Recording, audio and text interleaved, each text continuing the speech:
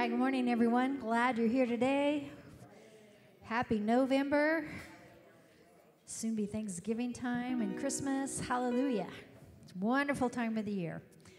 And Father, we love you and thank you for this day, for your blessings. Father, we have come to worship you. We have come to lift our voices to you and praise and shout our hallelujahs to you today. Lord, we seek your face and we just invite you to come today. Move, Lord touch our hearts and lives here today in a special way. And we give you all the glory and praise. In your name we pray. Amen. Amen. Let's do it.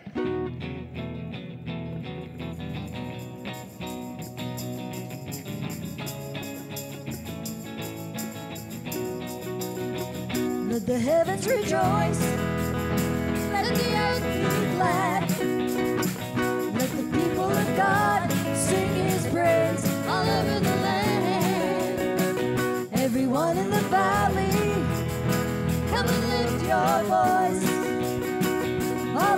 on the mountain top, be glad. Shout for joy. Rise up and praise Him. He deserves our love. Rise up and praise Him. Worship the Holy One with all your heart, with all your soul, with all your mind Rise up and praise Him. Let the heavens rejoice.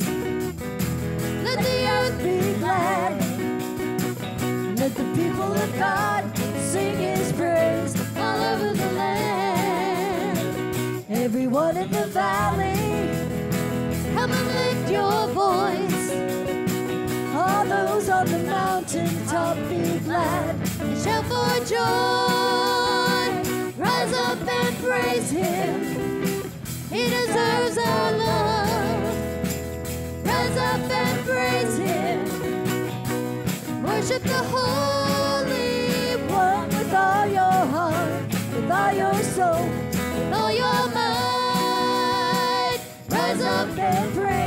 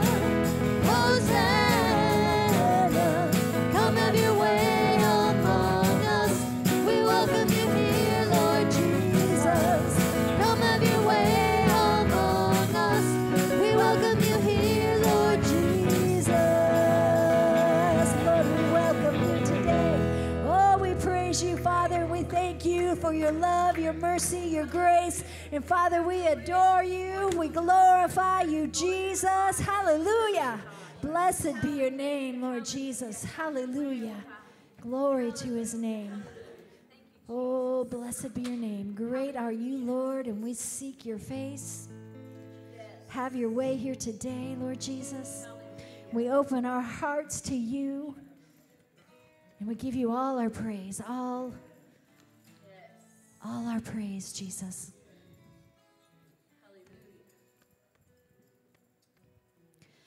You give life, you are love, you bring light to the darkness, you give hope, you restore every heart that is broken and great are you, Lord. It's your breath in our lungs, so we.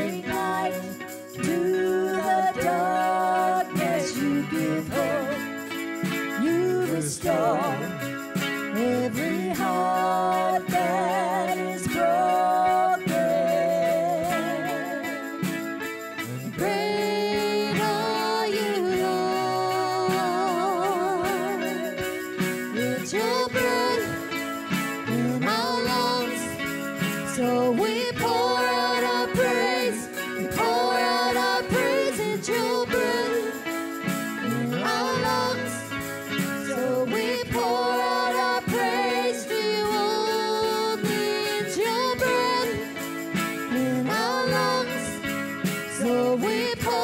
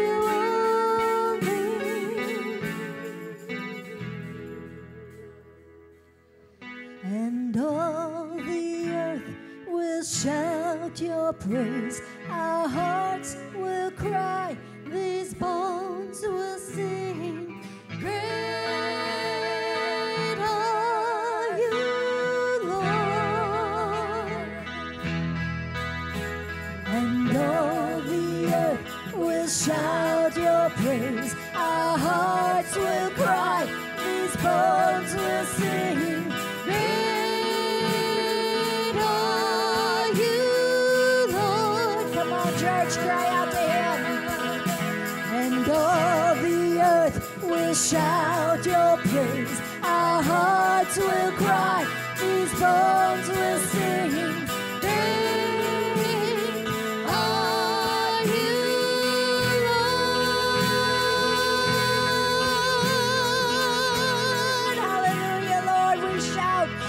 Shout to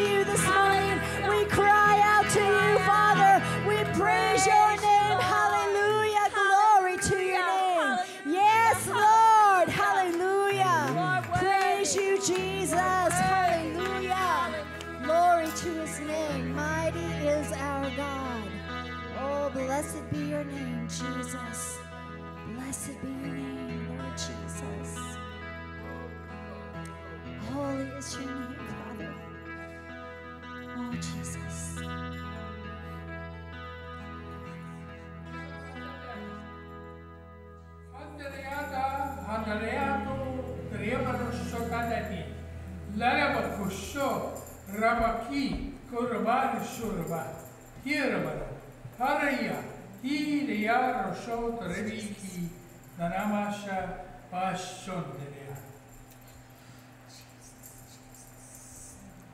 Are you ready? Are you ready to see me? Are you ready to see me do a great thing?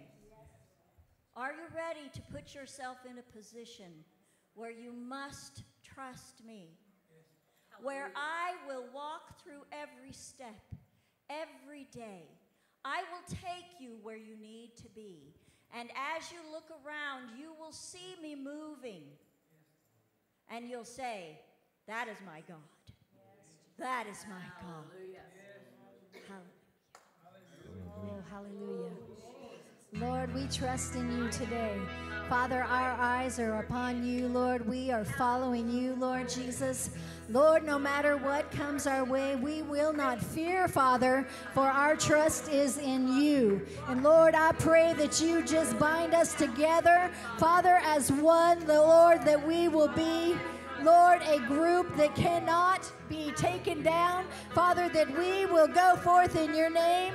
And Lord, we will stand firm on the word of God, and it will go forth before us, Lord Jesus. Lord, we will be an army, Lord Jesus, that cannot be crushed. We are an army that cannot be crushed. And we will stand before you and shout our hallelujahs. Father, we will trust you, Lord. You will never leave us and you will never forsake us, Father. You said it in your word. We trust your word. We speak your word, Father, Lord, because it will not return void to you. Lord, you said this in your word, and we trust you. We thank you, Father, for your promises. Thank you, Lord. Hallelujah. Hallelujah. Thank you, Jesus. Hallelujah. Hallelujah. Oh, yes, Lord. You are worthy. Glory, hallelujah. Oh, give him another shout. We're not done. Let's worship Hallelujah. him. He deserves our worship, he deserves our praise. Hallelujah. We glorify you, Lord. Praise the name of Jesus. Praise the name of Jesus. Hallelujah. And I just want to speak the name of Jesus over every heart and every mind. Cause I know there is peace within your presence. I speak Jesus, Jesus.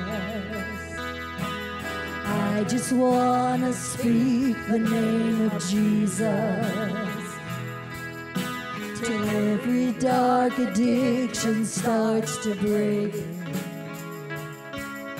Declaring there is hope and there is freedom. I speak Jesus.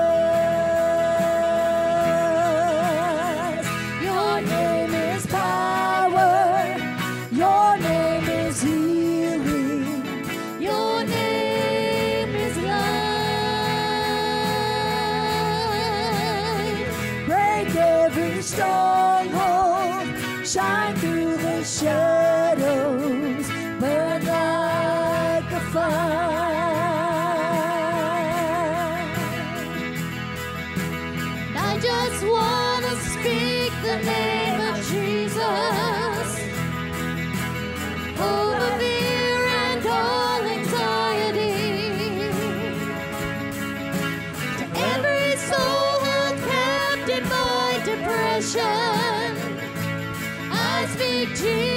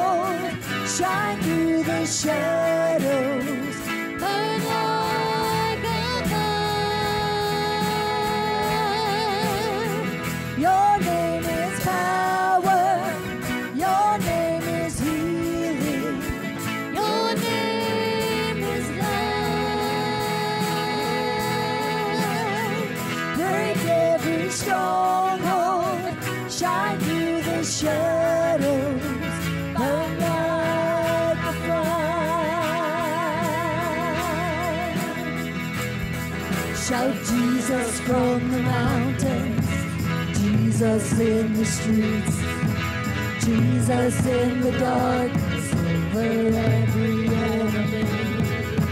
Jesus for my family, I speak the holy name.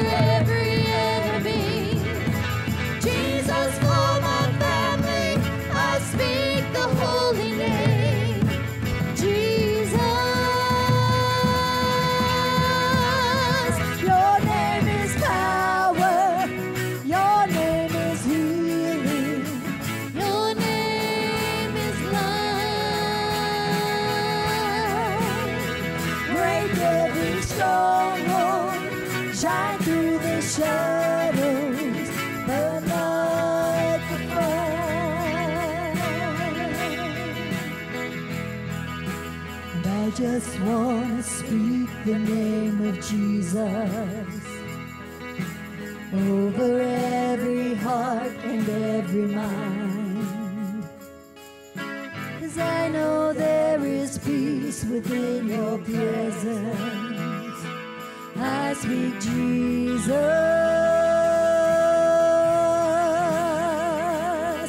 Shall keep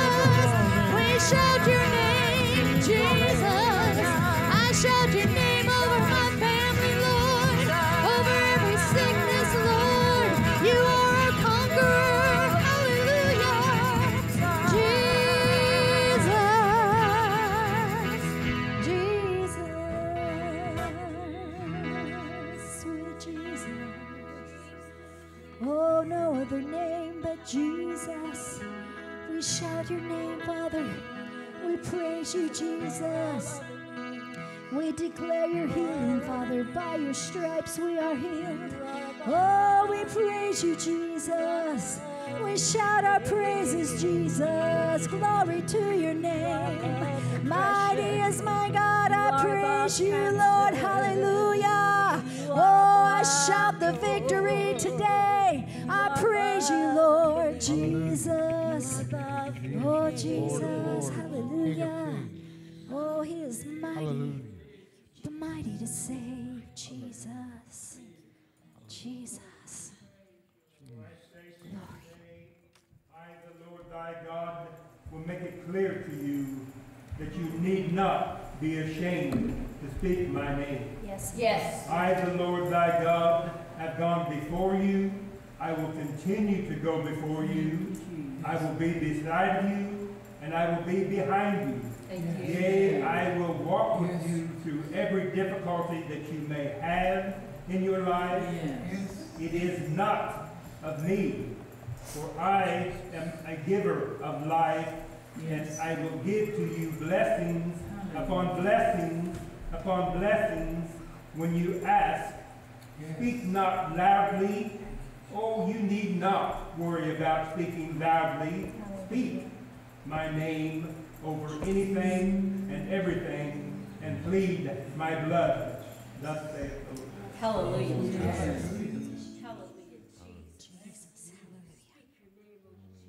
Oh, blessed be your name, Jesus. Hallelujah.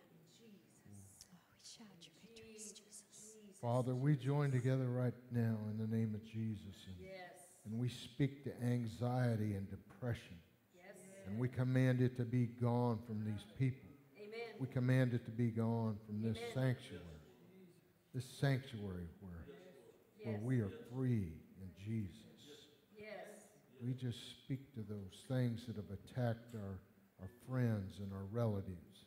We command them to be gone in the mighty name of Jesus the Christ. Ooh, hallelujah. Hallelujah. Thank you,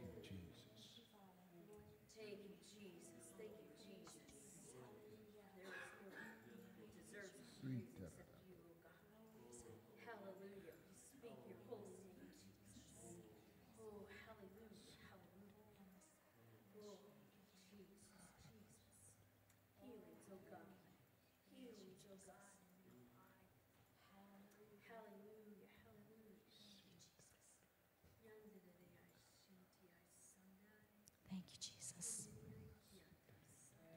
Praise your name.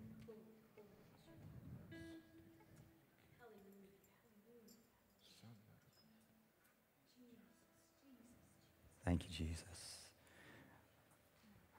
I want all of us to stand, if you would, if you, if you, feel, if you can. We need to speak the name of Jesus over our land. We have a very important election coming up Tuesday. Don't be in fear, because always remember God's got this. He's in control, and no matter what happens, He's still for us and not against us. And what I see is the seriousness of this election because our nation's at a, a fork.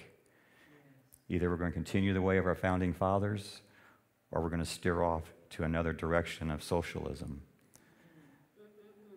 And we need to speak against that today. We need to plead the blood of Jesus Christ over this land. We need to pray for revival to break out in America. And the revival break out in the voting booth tomorrow or Tuesday.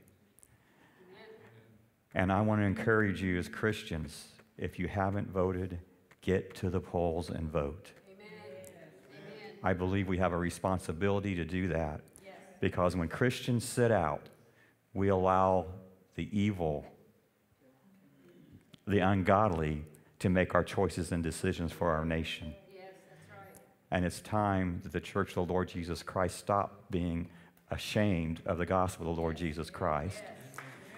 It's time that we stop being afraid to, you know, express our truth that Jesus Christ is Lord. He's still ruling and reigning. He's still the King of Kings and the Lord of Lords. And God can turn this nation around. Amen. So let's go together and just let's pray a prayer of agreement. Father, we come to you right now in the name of Jesus. And Father, we speak your name over this nation and this land. Father God, we call upon you this very moment, and we ask, Lord God, that you would move through this land, that there would be a spirit of revival to flow through this nation right now.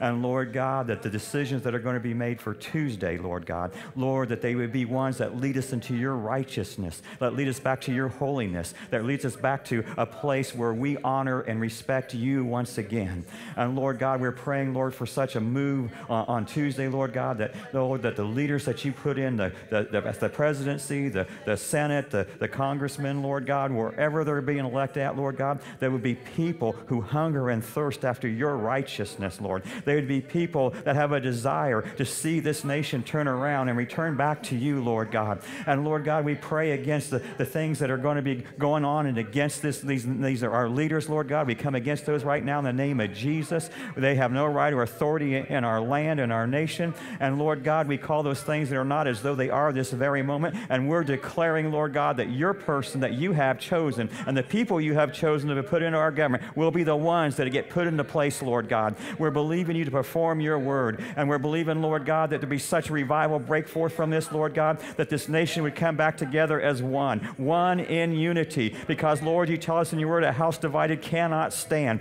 And, Lord God, we're not going to allow the enemy to steal this nation from us. We're not going to allow the political, the, those who are on the other side, Lord God, that are, are doing things that honor the enemy to have their freedom and liberty in this area. And Lord God, we're asking, Lord, that you would just rush in in a great and mighty way. And Lord, we are not going to walk in fear. We're not going to walk in doubt because you are going to work everything according to your purpose and according to your will. It will be accomplished. And we claim it right now. And Lord, right now we speak peace over, over every anxious heart in this room and watching online. We speak peace, peace, peace, peace. God's peace flow to you this very moment. God's peace flow to you this very moment. Right now, right now, just receive the peace. Peace, peace, peace. Thank you, Jesus. Thank you, Jesus. Thank you, Jesus. Hallelujah. Hallelujah. Thank you, Lord God. Let's praise Him. Hallelujah.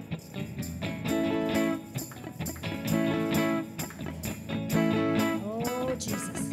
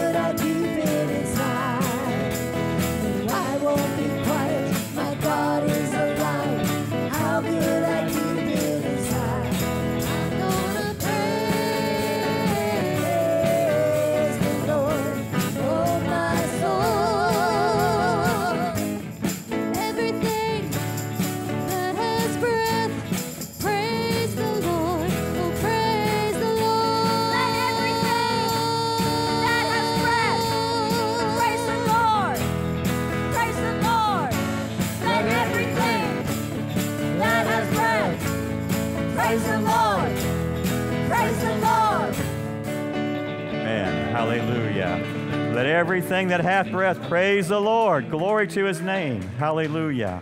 Hallelujah. Thank you, worship team. Hallelujah. I like that. Everything that has breath. How many got breath? Because I got breath, I got a reason to praise him. Amen. You know, so many people are out there trying to win the lottery. I don't play the lottery, so not, i know I'm never going to win it. But I've already won the lottery. I know Jesus Christ is my Lord and Savior. I'm already a victor. I'm already a winner. Amen. God is so, so good. Well, I want to welcome everyone here this morning. And you know what? We're fulfilling Scripture this morning. It says, Forsake not the assembling yourselves together.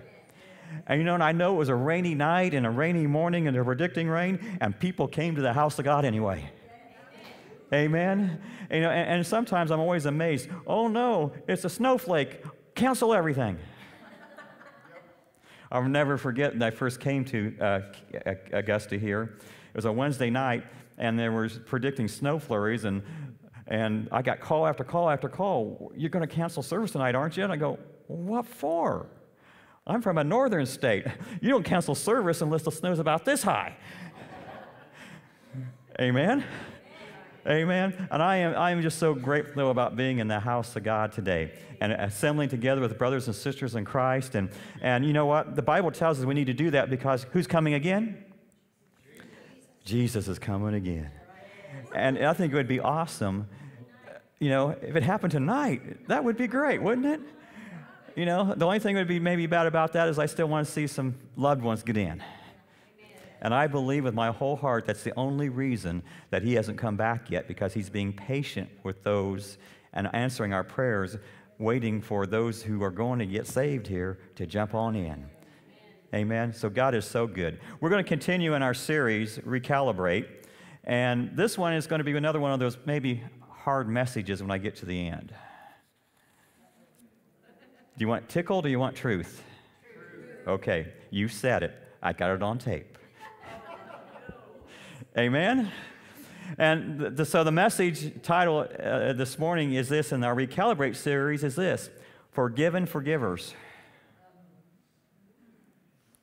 I've had people tell me they would rather have me preach on tithing than on forgiveness. I didn't look a certain way, did I? yes, I did. but anyway, forgiven forgivers.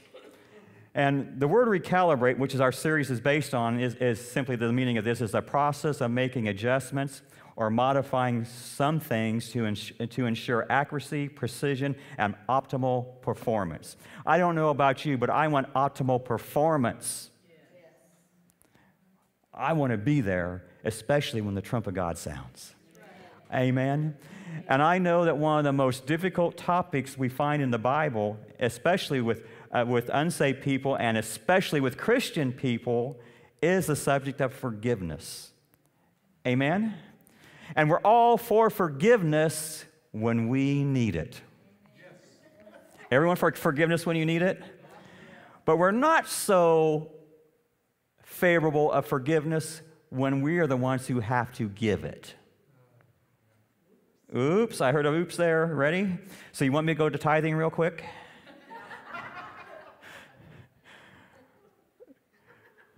First John 1 and 9 says this if we confess our sins, He is faithful.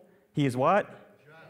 Faithful and just, and will forgive us our sins and purify us or cleanse us from all unrighteousness. How much unrighteousness? All of it. So, my first point this morning of the message you're going to like. We're going to look at the benefits of receiving God's forgiveness. You know what? All God did was save us. That would be enough. Amen? But He just didn't stop with forgiving us. When we receive His forgiveness, it opens up the windows of heaven to pour out blessings upon us in our lives. I don't know about you, but life is hard enough, but to have God's blessings when life is hard, that is awesome. Amen? And so, the, the, so what we do with forgiveness is going to affect our earthly lives here now. What we do with forgiveness is going to affect our mental health. Some of you are looking around, that person needs to do some forgiving, right? And what we do with forgiveness is going to affect our eternity. I, I, can tell you right now, saints of God, there are so many great benefits in forgiveness. And the first benefit, and this is going to be stuff we already know, but we need to be reminded of it from time to time. The first benefit of God's forgiveness is this God forgives our personal sins. Isn't that awesome? He forgives it. So, what does the word forgive mean? Well, I'm glad you asked. I'm going to tell you real quick here. Forgive means to pardon, to cancel, to remit. And I like this definition it is to release the debtor from their obligation to pay. And here is a simple fact, saints of God. We all are debtors before we found Jesus Christ as our Lord and Savior. And every one of us in this room, every person who's ever been born, has a debt to pay because none of us are perfect. None of us have done righteous all the time. Sometimes we do stupid things. Everyone agreed, said? And sometimes we do it intentionally. And because of that, we have a great debt of sin that must be paid in full. But the problem is, saints of God, we can't pay it in full. It's not possible for us to pay our debt sin in full. If it were possible, Christ would not come to the cross to have to die.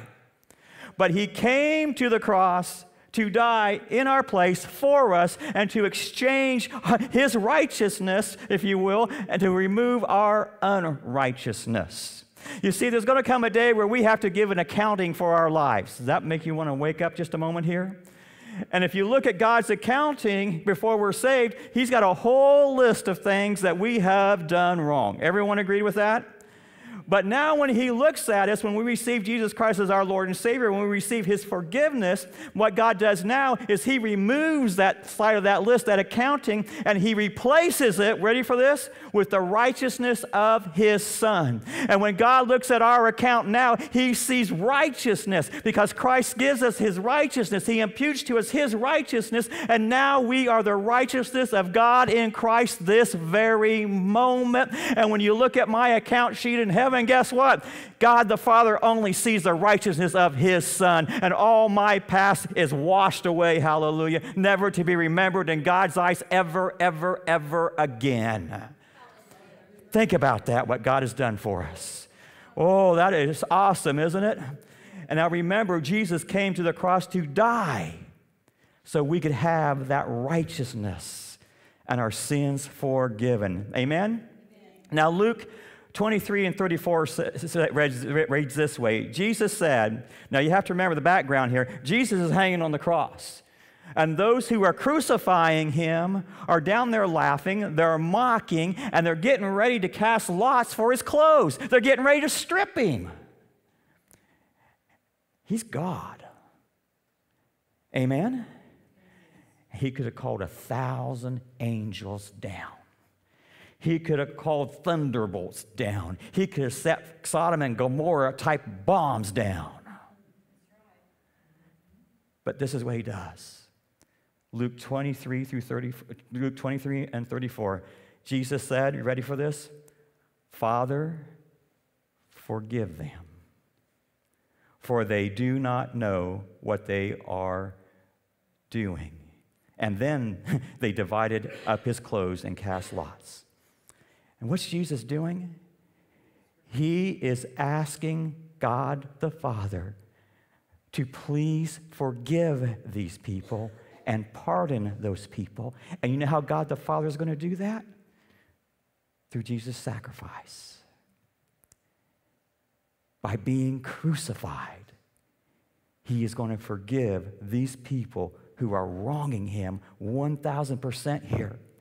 And what he's saying is simply this Father, even though they rightly earned condemnation and your judgment, rightly earned it, I want to pay for their great sins. I want to die for them and in their place. And so I can say this right now one the greatest sins was being was happening right now They were denying the Lord of glory and they were crucifying him. They were mocking him. They were stripping him of his clothes.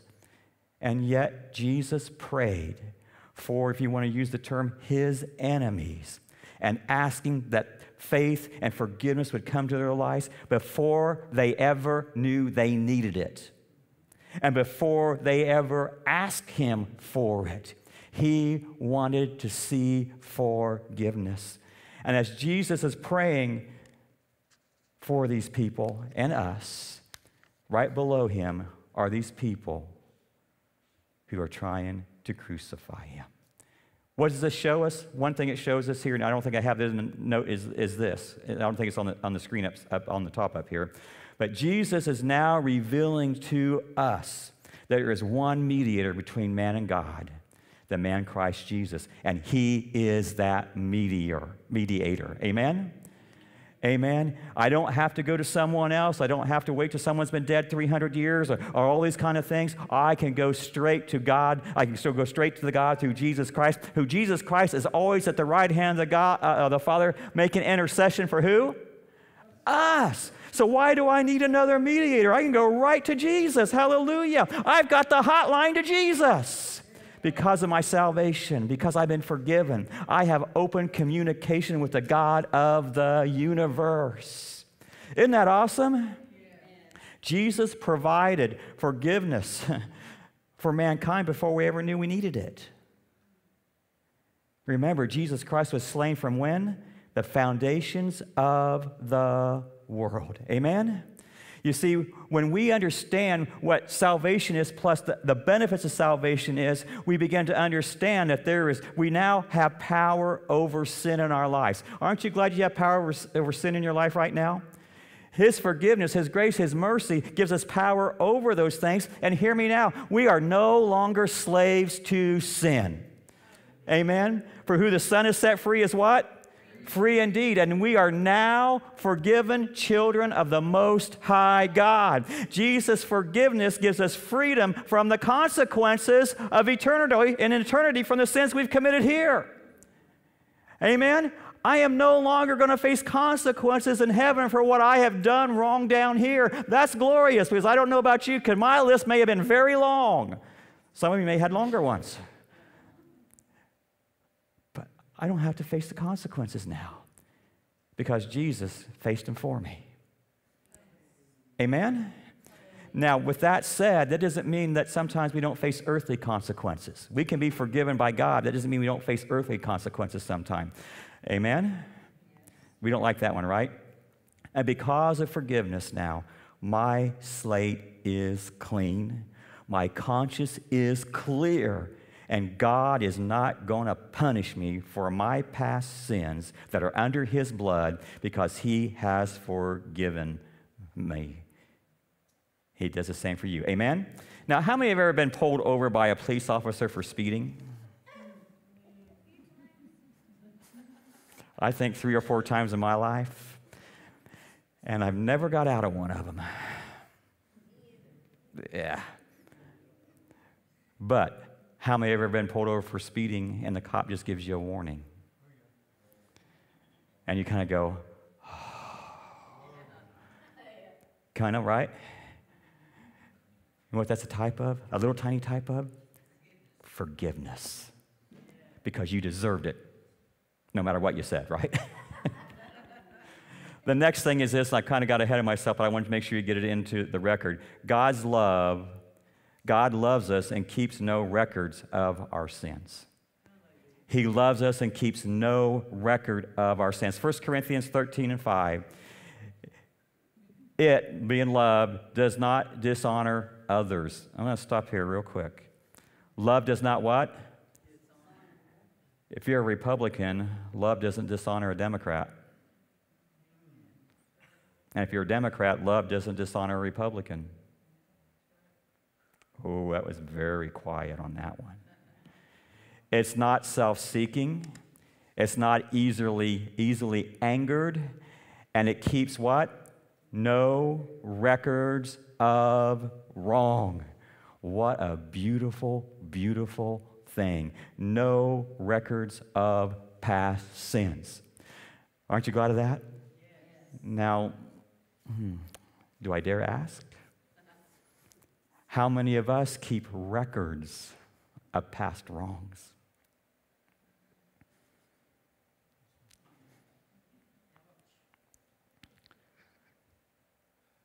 God's not compiling that list. And neither should we be compiling list of past wrongs done against us. I told you this is going to be hard. Amen. And through God's love, His grace, and mercy, again, I am not going to hell. I don't have to go. That's something awesome about God's forgiveness, isn't it? I do not have to go. The next benefit of, of God's forgiveness is this we are purified from all unrighteousness. Purified from us, where we started with that verse. And, but it says here, if we confess our sins. How many we see that word confess? If we confess our sins, he is faithful and just to forgive us our sins and purify us or cleanse us from all unrighteousness. And we have to stop and ask ourselves here what does the word confess mean? You ready for it? How many want to know what the word confess means? It means to agree with God. When I confess my sin, I am agreeing that God is correct about my sin situation. God is correct about the things that in my life that are wrong. No matter what my excuses may be, no matter what my culture may say, God is correct and God is right. When I confess my sins to God, God, I say, I'm confessing my sins to you. I'm com- confessing that you are right about my sins. And because you're right about my sins, I want to be forgiven. I want to be set free. And you know what? And if we confess our sins, here's what we have a guarantee He is what? Faithful and just and will forgive us. Our God's faithful. Now, sometimes when it comes for you know, my situation where I need to forgive other people, I maybe have a list, but sometimes I'm not faithful because I want to hold on to it. I want to make them pay. And I want them to do and act like I want them to act before I'll even consider forgiven. Anyone else like that? That's hard. But I can also tell you with this, the truth, it can be accomplished because God has done that in my life for me. I grew up in such a way that there was family members that I did not like and even to the point where I hated them because they were abusive, bad things had happened. I hated them. And God sick me, well, you know, in a loving, caring way.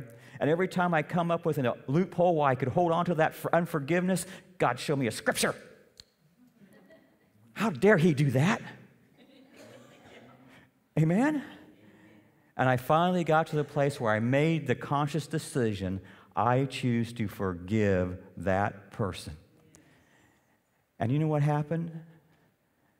God's grace and God's power, I can honestly stay, stand up here today, and I'm saying this hum, with humility. There is no one in my life today that I know that I hate.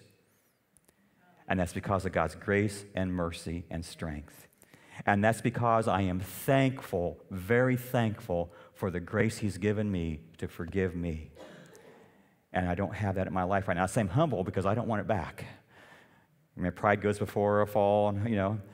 And that's something all of us need to examine ourselves here. Is there anyone in our lives that we're holding unforgiveness towards?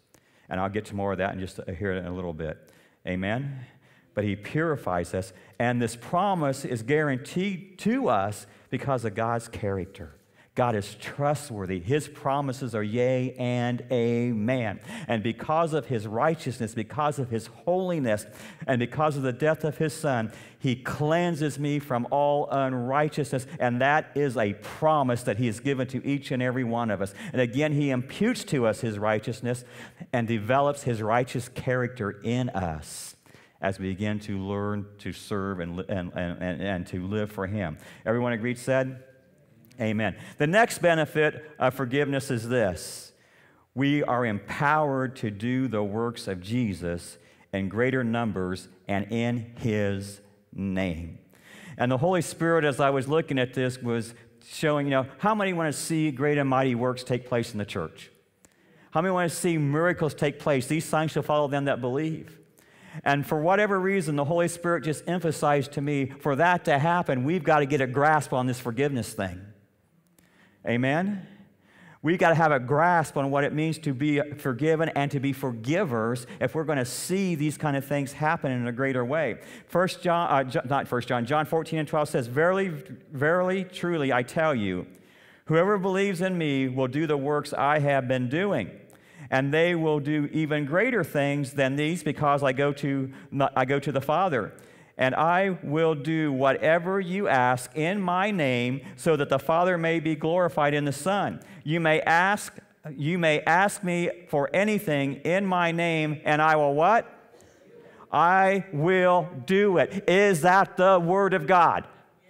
Did I make that up? That is God's word. And I believe, saints of God, that if we could get this forgiveness thing where we need to have it, I can I almost believe this with my whole heart. I do, I do believe with my whole heart is this way. We were going to see more of these things happen. Because unforgiveness is a bondage in a Christian's life that will hinder our prayer life. I told you this was going to be hard. And let me put it this way you put scripture to scripture. If we ask anything according to his what? Will. Ask anything according to his will and ask in his name, we shall have what we desire. Other scriptures say that. And what happens is when you're walking in unforgiveness, it's hard to hear the voice of God. When you're walking in unforgiveness, it's hard to see clearly what God wants to do because you have this big, ugly monster in your life. And it is, it is worse than any disease you could think of because this, this, this, this, this horrible thing called unforgiveness not only destroys your mental body, your, mental, your mind, it destroys your physical body, it destroys your eternal life, it destroys things and it blinds people. And that's why it's such a dangerous, dangerous, dangerous thing. So, saints of God, we want to look at the works of Jesus real quick here. And how do I find out what the works of Jesus are? Well, go to the Gospels, first place, and begin to read your Bible. Everyone agree with that said? Amen. And you see, and when you read your Bible, you see the works that Jesus is doing, but you also see an urgency in his work, and you also see an excitement in his work. When Jesus speaks, when you read through the, New, the, the Gospels, when Jesus speaks, immediately, I say that word immediately. When Jesus speaks, immediately decisive responses come. Immediately. I like that. And when Jesus acts, immediately decisive responses happen. When he spoke to Lazarus, immediately what happened? When he spoke to the winds and the waves, immediately what happened? Saints of God, if we ask anything according to his will, ask anything in his name, decisive results will take place because Jesus has all authority over all the universe. Amen? And then he says, I give unto you, I give unto you authority. What's authority is he talking about? The authority that he has. I don't have all the authority he has, but he gives us authority in this world to do what he's been doing. That's exciting, amen? Jesus has authority over sickness, he has authority over demons, he has authority over nature, and he has authority over death. He has that authority. And when Jesus rebukes an illness, guess what? Great things happen. When he told the blind man that his eyes were healed, hallelujah, it happened. When Jesus multiplied the fish and the loaves, I'm getting ahead of myself over nature. He multiplied the fish and the loaves, and guess what happened? They multiplied. And when Jesus spoke to the winds and the waves, they obeyed. I wonder if that would work with our kids. No. Jesus has authority over death. How does he have authority over death? Because he endured death on the cross. He went to that grave. Hallelujah. But on the third day, he came out of that grave, the victorious King of Kings and the Lord of Lords, with the keys of death, hell, and the grave in his hand. He didn't go down to the pits of hell to suffer at Satan's feet. He went down there to defeat Satan. Hallelujah. Hallelujah. And when Jesus rebukes a demon, they ask how high and how far. Amen? That's the kind of authority he had. And guess what he says? The things I do, you shall do even more. What's the key here? I'm going to tell you, we'll get back to the keys forgiveness. Amen? The same ministry as Jesus. You say, Pastor, have you ever been in a situation where you ha- ha- had cast out a demon? I have. Several times. Hannah probably doesn't remember because she was a baby when we were in Gary, Indiana. I want to tell you, I had demon possessed people come into the church who were part of a local witches' coven. And I can guarantee you, I saw the power of God work casting out demons. Real demon possession. Not this phony stuff out there because you have an itch, you got a demon. Real demon possession, those who were involved in the occult. This one man came up to me, and he's just been to church the first time. He was a lot taller than I am. I mean, he was probably 6'2, 6'3, 6'4, a big guy. And he walks up and goes, I'm demon possessed. And I'm going, oh, brother, here we go again. And so I'm going to do the pastoral thing. I'm going to pray for him. And as I put my hand out to pray for him, he came completely up off the floor, like he levitated here in the middle. And then he started flopping on the floor back and forth. I mean, violently, uh, just going back and forth. And I'm going, uh oh, I got the real thing going on here. And I still remember looking at him and saying, In the name of Jesus, be gone. And you know what? He went still. Just like that. And then I got to to lead him to Jesus Christ as his Lord and Savior. Because if I hadn't led him to Jesus, those things would have come back seven times worse. But when we are where we need to be with God, hallelujah, those things do not have to scare us. We don't have to be fearful of them because greater is He that is in us than what? He that is in the world. And I can remember too that same, there was a lady at the church there called Sharon. I know some of you heard the stories before. And she was a practicing witch. She came in and brought me a little booklet. This little booklet was full of occultic type spells. And she says, We use the Bible just like you do. Because it had scripture with their occultic type stuff. And, but it went on to things that was absolutely not Bible whatsoever. It was very occultic. And she handed it to me and, and says, Would you take this? I said, I'll take it. And I stuck it in the pulpit. And we had revival service. But what I started to notice here where we were having fellowship time, anytime I got near her, and I had an evangelist there, and anytime the evangelist got to her, she winced back like this. I mean, you could just tell, and her face just contorted. It was just something really odd, you know. And again, this woman who was involved in the occult was demon possessed. And so I was getting ready to lay hands on her.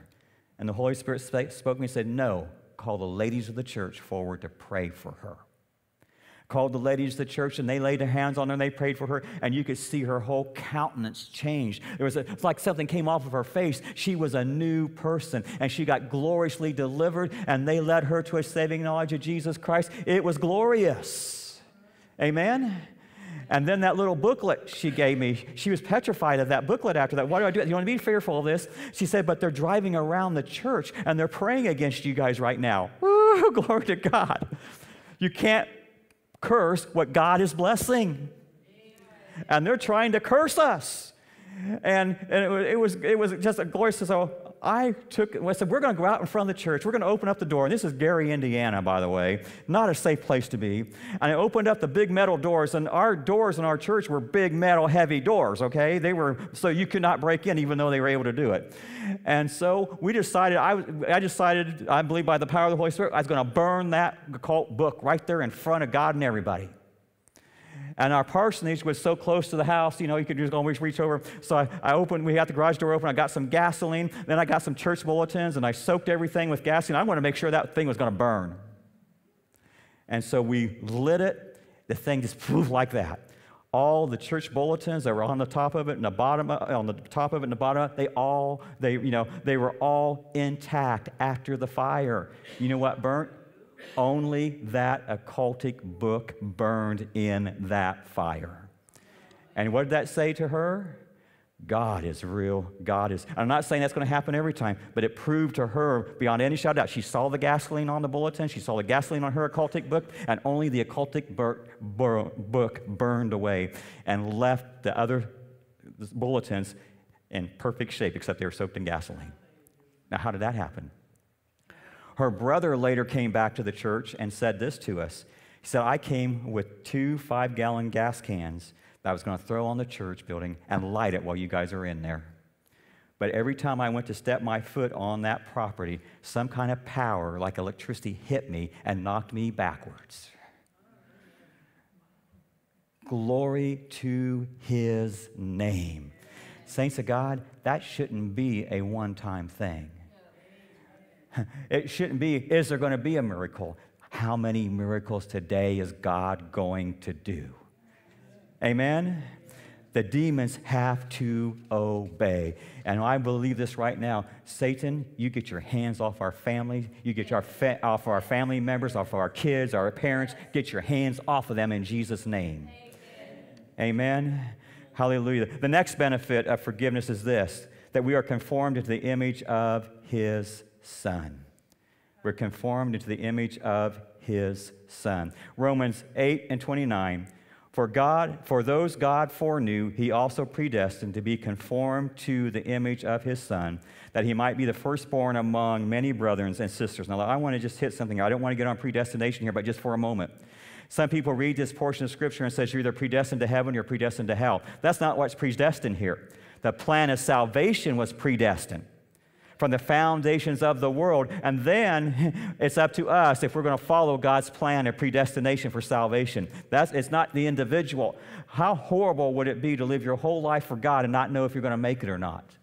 My grandmother was that way. She did not know if she was going to make to heaven. She went to church, she prayed regularly, but she knew she was told and was taught that you don't know if you're going to heaven until you die. At that moment, you'll find out. I know so because the plan of salvation was predestined from the foundations of the world. Now it's up to me to choose to either go that route or choose the other route. Everyone agreed, said?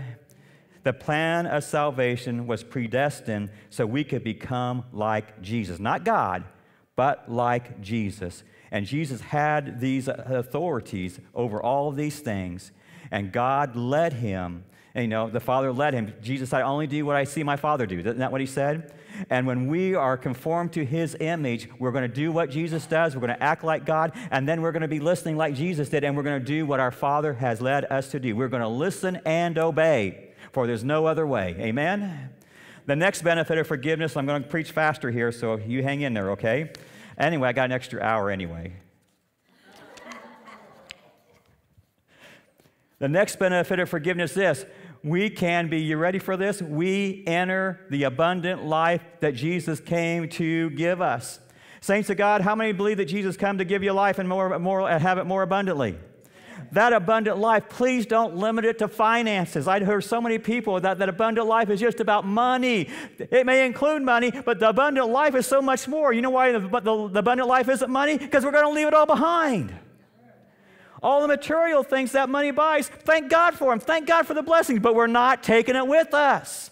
The abundant life is victory in Jesus. The abundant life is being an overcomer and being a conqueror. The abundant life is knowing where Satan belongs underneath our feet. The abundant life is acting and living and serving God in His blessings. The abundant life is contentment. In whatever situation you find yourself in. Amen. The abundant life is a divine calling of God that we enter into to be more like Jesus. The abundant life is a way of joy and peace and happiness in the midst of no matter what the trial is, no matter how this election turns out, I can still have the way of joy and peace and righteousness in my life. Amen? My joy and peace isn't dependent upon who the president is. My joy and peace is, is dependent upon the, the Prince of Peace. Amen? And God can give us a peace that passes all understanding. Our next benefit is this that we can be baptized with the Holy Spirit of God. Amen. Mark 1 and 7 through 8. And this was the message. After me comes one more powerful than I, that the straps of whose sandals I am not worthy to stoop down and untie. I baptize you with water, but he will baptize you with what? The Holy Ghost. That's the, uh, John the Baptist is talking here, and John the Baptist is preaching repentance, which is good. They had to have their repentance first, amen? And, and he said, But here's a uh, baptism of forgiveness, thank God that. But after forgiveness, there's something even greater for you. It's the baptism of the Holy Spirit. Those who have got who's who are saved today, you know Jesus Christ is your Lord and Savior. The baptism of the Holy Spirit is for you. Hallelujah. He wants us to have the person of the Holy Spirit in our life. He wants us to have the power of the Holy Spirit in our life. I want to know right now, I want you to know right now, if you've received Jesus Christ as your Lord and Savior, you have the person of the Holy Spirit in you this moment. But he also wants you to have the power of the Holy Spirit also. Amen? Acts 1 and 8. But you shall receive power when the Holy Spirit has come upon you, and you shall be what? Witnesses in Jerusalem and all Judea, Samaria, and to the other ends of the earth. God wants us to be spirit filled people. Hallelujah. He wants us to receive that dunamis, He wants to receive that power, and it happens after we are forgiven. Amen. The next one is this, saints of God. The next benefit of forgiveness is this the continual abiding presence of the Holy Spirit in our life. He says, I won't leave you as what? Orphans. I am with you always. I will never leave you and I'll never forsake you. I am with you unto the end of the age. And then we go to the next age. Amen?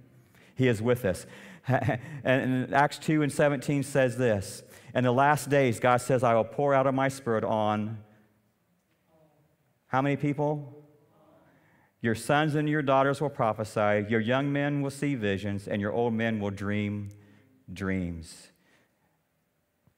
What we need, ain't it? Or isn't it? Amen. Leads me to the next one here. We will be saved from the wrath to come upon the whole world. Revelations 3 and 10 says this I will also keep you from the hour of trial that is going to come to the whole world to test, to test the inhabitants of the earth. You know what that is? That's the wrath of God after the church is raptured out of here. And he says, I'll do what? I will keep you from that wrath. Why is he keeping us from that wrath? Because we have not been appointed unto God's wrath in the end times. Amen. 1 Thessalonians 5 9 through 11. For God did not appoint us to suffer wrath talking about the end time tribulation, but to receive salvation through our Lord Jesus. How many are saved today? Forgiveness. You're not going to go through that great end time period. Amen? We're not going to be here for the tribulation.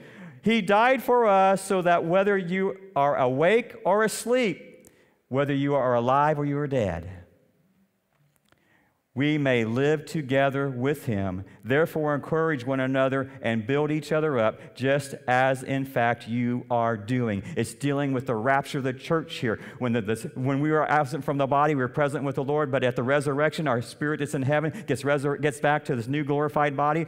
And then those who are alive and remain, we change. We'll go out to meet the Lord forever and forevermore be with the Lord. Isn't that great, saints? Amen. The next two I'm going to hit real, real fast. I got to get to my last point. The next benefit of forgiveness is this He has given us His divine power for everything. Everything you need in life, His divine power is there. The next one is this the next benefit is heaven. Aren't you glad we're going to get to go to heaven? One of these days, I'm going to hear that trumpet sound. Yes, one of these days I may go by the grave. I'm believing for the trumpet first. But one of these days, I am going to go to that city whose builder and maker is God. No more pain, no more sickness, no more disease, no more suffering, no more politics. Leads me to point two of the message. Forgiven by God to be forgivers. The benefit of salvation is awesome. Everyone agree? Awesome. We are never more like Jesus than when we are forgiving people. We want to be conformed to the image of Him. We have to learn to be forgivers, just like Jesus was. Amen? The first fact about forgiving people is this God has forgiven us. We must forgive those who hurt us and sinned against us. I want to say this again. As God has forgiven us, we what? Must forgive those who have hurt us. Now, I want to look at a portion of scripture here, real quick Matthew 18, 21 through 35. Peter comes up, and the, the kind of the Jewish culture thing was you forgive a person three times, and after that, ah.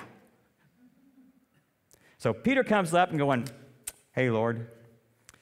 Verse 18 Then Peter came to Jesus, asked, Lord, how many times shall I forgive my brother or sister who sins against me? Up to seven times. I've doubled it. Look at me, God. I have doubled it.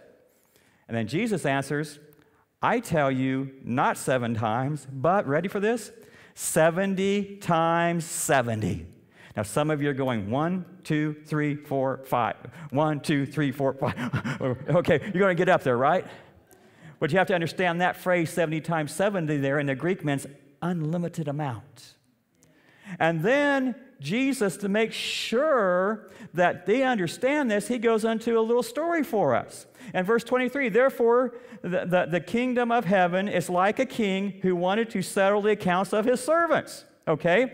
And as he begins the settlement, a man who owed him, you ready for this? 10,000 bags of gold was brought to him. Now, I tried to figure out how many 10,000 uh, bags of gold would be worth, and the nearest I could figure out is a whole bunch. More than any person could ever repay. Amen? Never could repay it. That's what our sin's like. We can never repay it. Amen? And since he was not able to pay, the master ordered that he and his wife and his children and all he had be sold to repay the debt. But verse 26 At this, the servant fell on his knees before him and said, I want you to remember this phrase Be patient with me, he begged, and I will pay back everything. And verse 27 the servant's master what? Took pity on him and didn't say, Okay, I'm going to let you go and I'm waiting for you to pay it all off. He says, Cancel the debt and let him go. What did God do for us? He canceled our debt and let us go. You don't think he'd be grateful? I mean, wow. To have, I would love someone to come in and cancel out all my debt. Anyone else like that? Would you be grateful? Oh, yeah, oh, yeah, oh, yeah. But the next sentence starts with a but, which means it's going to cancel out what we just read.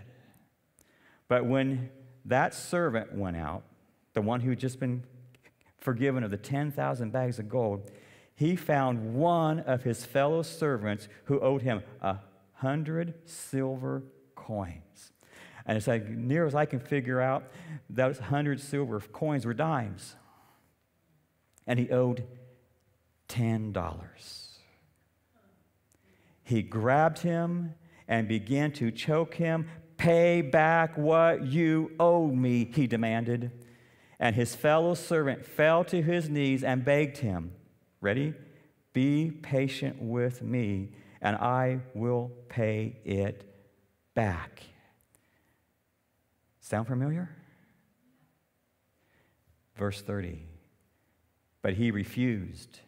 Instead, he went off and had the man thrown into prison until he could pay the debt. Verse 31 And when the other servants saw what had happened, they were outraged and went and told their master everything that happened. Verse 32 Then the master called the servant in, and look what the masters said to him You wicked servant, you ungrateful servant.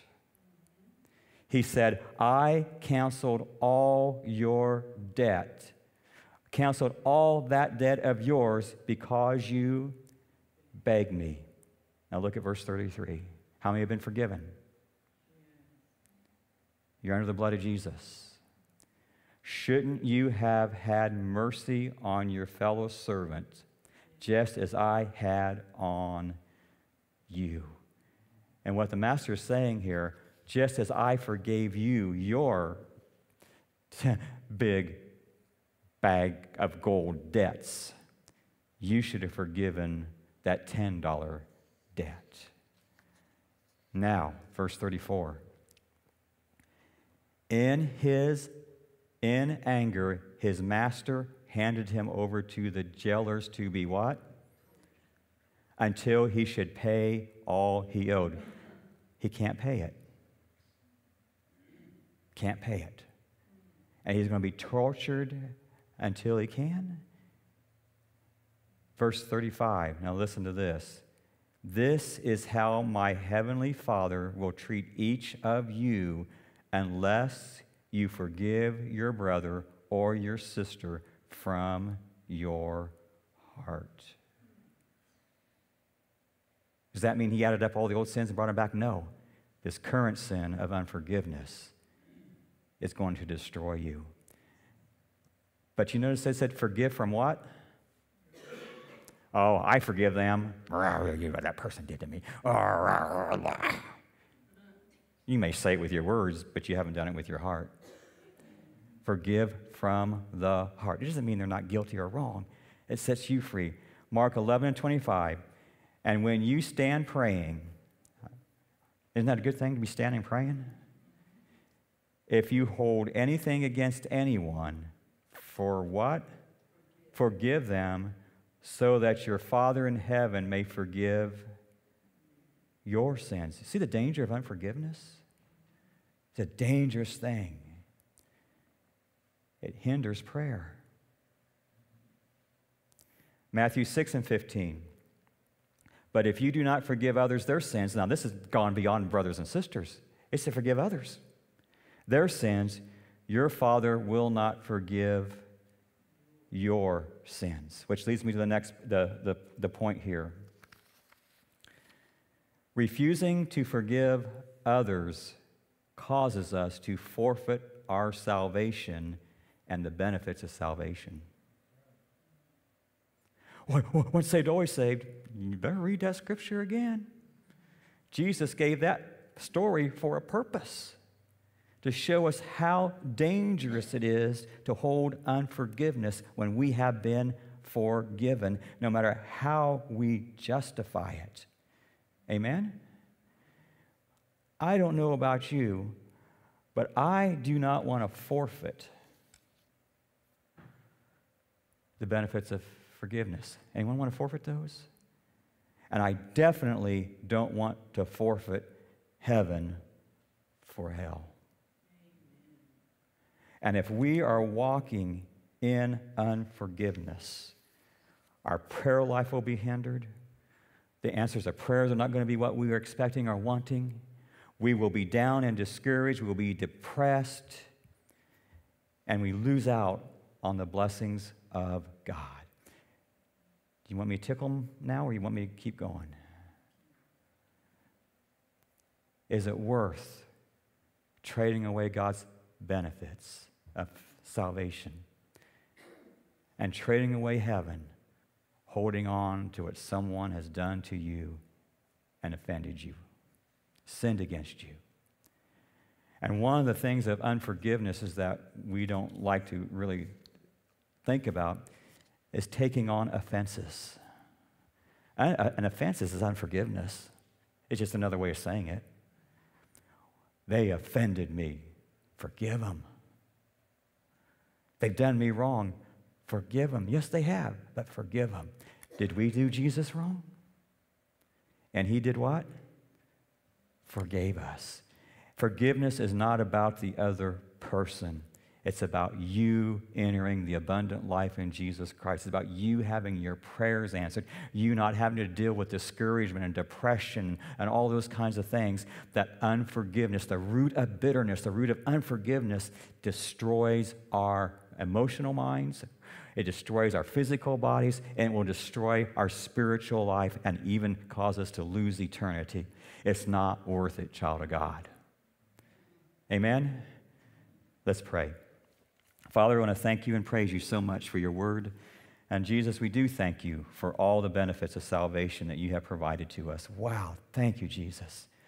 But Lord, also help us to be like you since we are forgiven and since we so much appreciate all that you have done for us. We're so grateful and so thankful that you took our place and forgave us and paid a debt that we could never pay. Help us, Lord Jesus, not to be like that unjust servant who went out and grabbed one of his fellow friends that owed him a little something and refused to forgive. And Lord, I pray, be patient with us as we make these decisions to take those people who have hurt us off of our hooks and place them on your hook.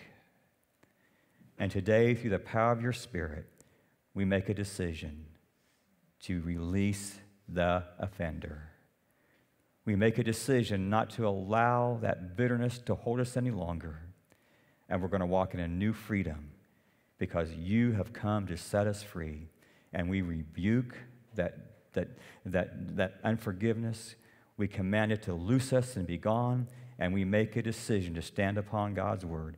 I can do all things through Christ who strengthens me. And I now release that bitterness. I release that unforgiveness. And Lord, I give it to you to take care of. And now, Lord, I want to receive that freedom. I want to receive that power. I want to receive that anointing. In your name we pray. And all God's people agreed, said, Amen and amen. One quick announcement, real quick. The th- our Thanksgiving dinner will be tonight at 5 p.m. here at the church. There's a sign up sheet out there. Just kind of sign up for some sides and bring it in, and you can see what's being brought. We're going to have a good time of fellowship together. Amen? And don't let someone you're angry at keep you from coming. In Jesus' name, amen. God bless you.